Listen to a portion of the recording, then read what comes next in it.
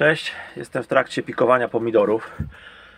E, Lecę teraz z malinówkami. Malinowy e, ożarowski i faworyt. E, Część już wy, wy, wypikowałem, rozpikowałem. Jeszcze dochodzą pomału. Tak, to dochodzą pomału koktajlowe pomidorki. Black cherry. Strasznie kiepsko wykiełkował, kurczę, będę musiał chyba dorobić. Najlepszy pomidor, najfajniejszy, a bardzo kiepsko wykiełkowały nasionka. Było wysiewane, chyba tego było najwięcej, bo tego było chyba 5 paczek wysiewanych.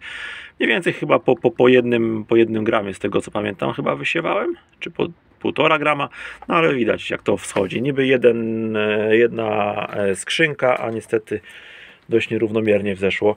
Tu jeszcze mi zostało do rozpikowania, no Brutus to już z tego chyba też już nic nie będzie, bardzo ni- mizernie wykiełkował. Yy, tu co my mamy? Krakowski i Betalux do rozpikowania. I tu jeszcze nam został malinowy warszawski, Marmadę. Tutaj z- gigant jeszcze też bardzo mizernie, no i gruszkowy, yy, żółty, koktajlowy do rozpikowania z pomidorków. A nie, i tu jeszcze mam ten mały taki karłowy, e, czerwony i koktajlowy też pomidorek. No a to jeszcze parę dni e, zanim, zanim się za niego e, zabiorę. Mm, Tutaj skiełkowała dość fajnie trawa cytrynowa. Meliska też już do rozpikowania mam. No i tutaj te moje nieszczęsne orzeszki ziemne, kurcze, z których zostało raz, dwa, trzy, cztery, pięć, pięć sztuk z 30. No ale żyją. Może coś z nich będzie, zobaczymy. Dobra, wracam do tych pomidorów. Pokażę, jak radzić sobie z pomidorami, które będą wyrosną za długie. Wygonią wam, bo było za dużo cienia e, na parapecie, jakieś pochmurne dni były i wyrosły bardzo długie. Jak ja to robię? E, nie ma co się bać i pomidorka można spokojnie wsadzać dużo głębiej niż jego korzonki. Czyli taką sztukę łapiemy za korzonek i ściągamy głęboko do samej łodyżki, nawet jeszcze głębiej spokojnie. E, Można tylko jedną ręką mi jest tak trochę ciężko. Weźmy jedną sztukę. O, w ten sposób. I za korzonek ściągam głęboko do samego dołu i siedzi. Nawet nic się nie stanie.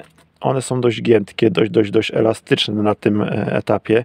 Można spokojnie też delikatnie ściągnąć go, tylko żeby korzeń został e, pod ziemią, wiadomo, w ten sposób. Jak jest jakaś, nie wiem, płytsza doniczka, macie płytszą doniczkę, jak pikujecie, czy e, pojemniczek jakiś.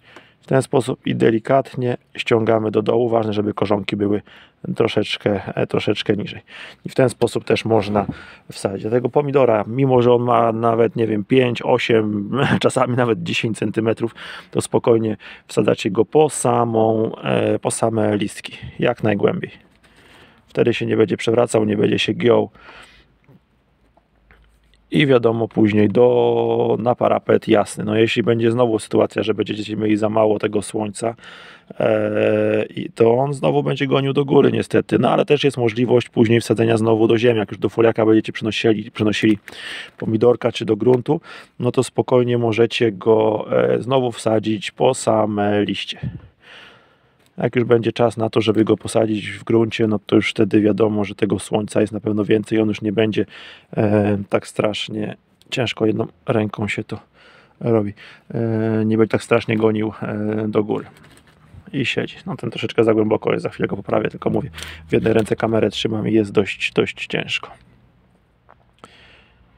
No i jak pikujecie, zawsze starajcie się wybierać mniej więcej e, jednakowej wielkości. Nie wsadzajcie pomidorków, które są gdzieś tam ledwo co skiełkowane, czy jakieś naprawdę maluteńkie.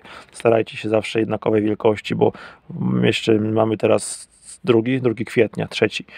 E, no to jeszcze dobry miesiąc tak naprawdę posiedzą e, gdzieś w szklarni, na, na, na parapecie w domu, zanim te przymrozki się skończą, no chyba, że macie ogrzewane foliaki, no to jest inna sytuacja, ale jeśli nie i czekacie na koniec przymrozków, czy nawet na e, tego 15 maja, no to trochę z Wami posiedzą i na pewno dość mocno w domu Wam e, wyrosną. Dlatego dobrze, żeby w takiej skrzynce były jednakowej wielkości, bo one później jak rosną, to wszystkie rosną równomiernie.